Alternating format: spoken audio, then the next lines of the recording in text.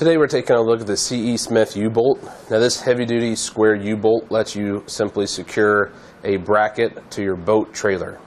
It is zinc plated when it comes to the steel construction.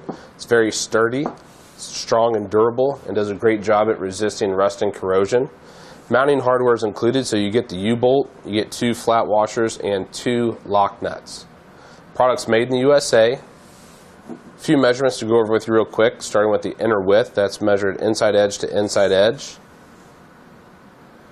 That gives us a measurement of 3 inches. The length is measured from the bottom of this bar right here to the end of the threads. That gives us a measurement of 4 and 1 quarter inches. The bolt size is a half inch by 13.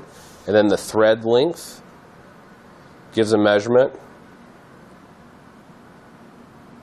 of about 1 and 9 sixteenths to 1 and 5 eighths, right in that area.